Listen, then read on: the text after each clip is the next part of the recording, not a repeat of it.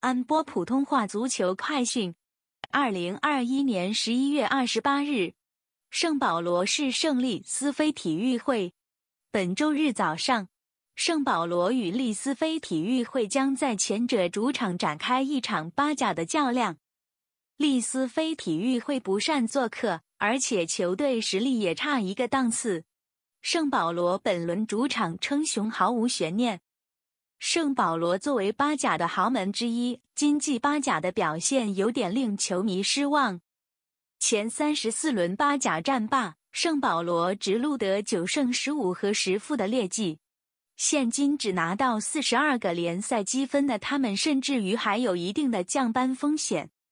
目前巴甲进入收官阶段，圣保罗领先降班区的优势并不算太大。为了避免遭遇降班的尴尬。球队在余下的几轮联赛中必定全力争胜，而是与鱼腩部队利斯非体育会的交锋就是最好的全取三分机会。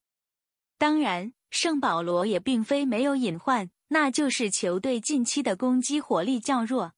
金帐要想达成心愿，伊列甘尼和卡纳利等攻击手就必须打醒十二分精神，全力以赴。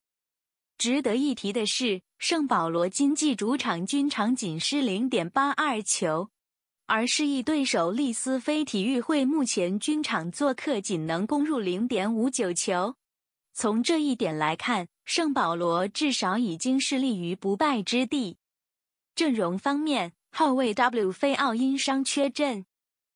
上季仅以一分的微弱优势保组成功的利斯菲体育会，经济表现依然没有起色。三十四轮八甲只拿到三十三分的他们，现今排在积分榜倒数第二位。